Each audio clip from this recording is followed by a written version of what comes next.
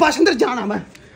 ਮਾੜਾ ਜਿਹਾ ਬੋਲਦਾ ਮੈਂ ਤੇਰੇ ਆਪਣਾ ਬਰਨਾਲੇ ਕਿਹੜੀ ਨਹੀਂ ਜਾਣਾ। ਬਸ ਪਹਿਲਾ ਬਟਨ ਆਪਣਾ ਪਹਿਲਾ ਬਟਨ ਆਪਣਾ ਦੂਜਾ ਇਹਨਾਂ ਦਾ ਬਸ 4 ਵਜੇ ਨੂੰ ਕੰਮ ਹੋ ਜੇ। ਗਾਹਾਂ ਨਾਲ ਗੱਲ ਕਰੋ ਬਥੇਰੀਆਂ ਮਾਮਿਆਂ ਫੁੱਫੜਾ ਤੇ ਕਹਿੜੇ ਤੇ ਪਾ ਦਿਆ 4 ਵਜੇ ਨੂੰ ਕੰਮ ਹੋ ਜੇ ਬਸ ਚੰਗਾ। ਚੰਗਾ ਇੱਧਰ ਪਾਸ ਮੇਰਾ ਤਾਂ ਮੋਹ ਖਿੱਚ ਲਿਆ ਮੈਨੂੰ ਮੈਂ ਜਾਣਾ ਚੰਗਾ। ਚੰਗਾ ਮਾਨਸਾ ਚੰਗਾ।